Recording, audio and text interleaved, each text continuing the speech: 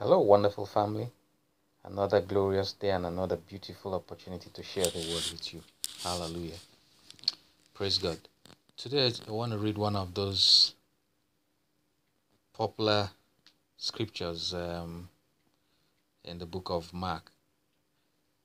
And we'll, we'll dig in deep and mine for gold from what our Lord Jesus taught.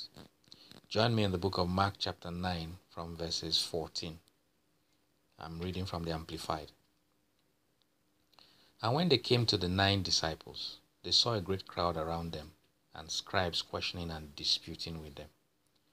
And immediately all the crowd, when they saw Jesus returning from the holy mount, his face and person yet glistening, they were greatly amazed and ran up to him and greeted him.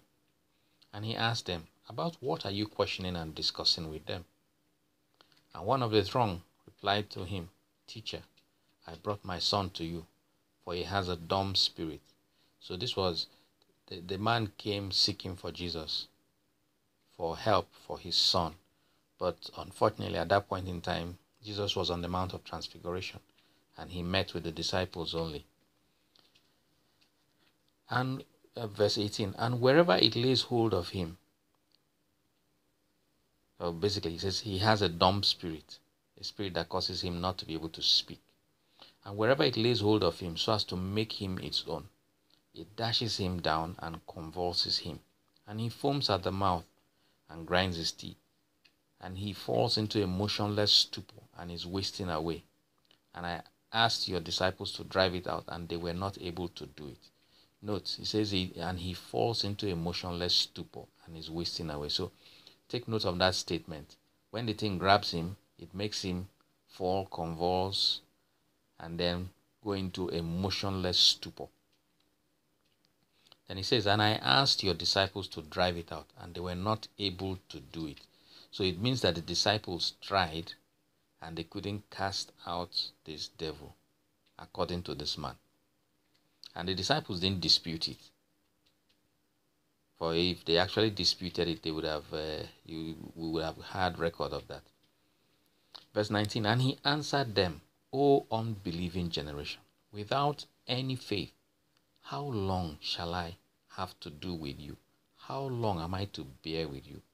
Bring him to me. It's, you see, Jesus was a very loving, loving teacher.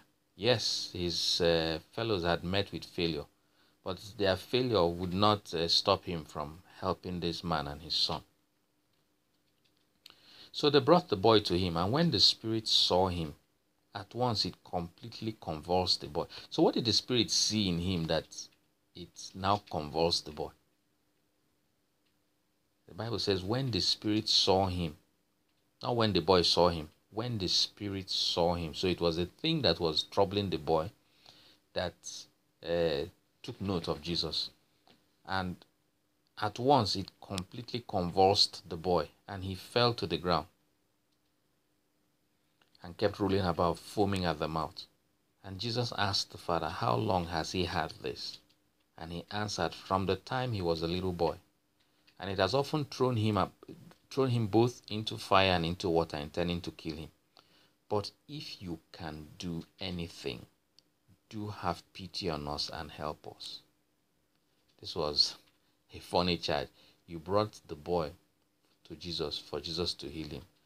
Uh, yes, unfortunately, the disciples uh, proved inadequate in your estimation. Then you've eventually gotten to the master, and you now say, if you can do anything. That is, you are querying the master's ability to do it. In essence, you, do, you do not have confidence that he can do it. You just came to try. And Jesus said, You said to me, if you can do anything, why? All things can be, are possible to him who believes. In essence, that your question is very, very obtuse. It's not it's not a question of my ability. It's a question of can you believe?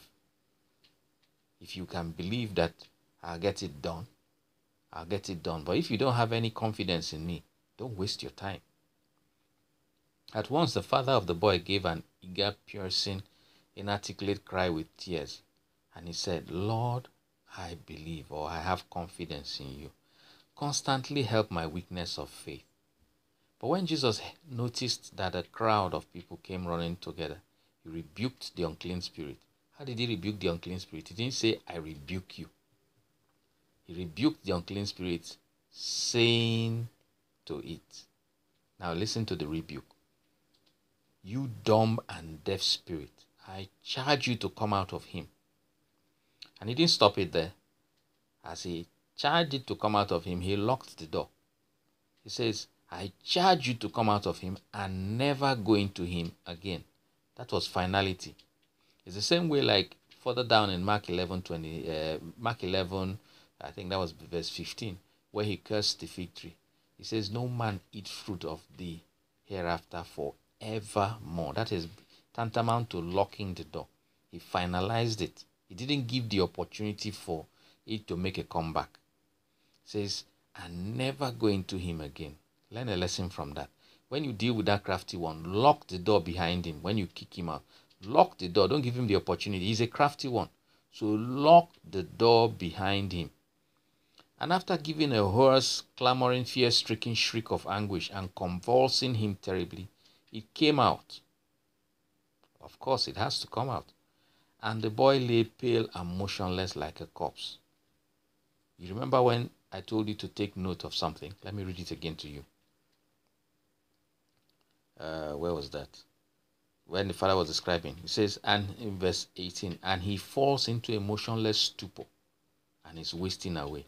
So this was that the trick of that uh, funny demon. As it convulsed the boy, as Jesus told him to get out, he made him lie down in a motionless stupor, so that many of them said he is dead. But Jesus took a strong grip of his hand and began lifting him up, and he stood. Many Bible scholars have said that this is exactly the same thing that happened when the disciples tried to cast out that devil. And when they saw him as if he was dead, they panicked. Doubt came in, and that demon had the opportunity to get back in or stand its ground. It had fooled them, caused them to walk based on what they could see and not based on uh, what they believed. So they were walking by sight and not by faith. Here, Jesus was showing that he walks by faith and not by sight. He had give, issued the command of faith, and it had to be exactly as he said it.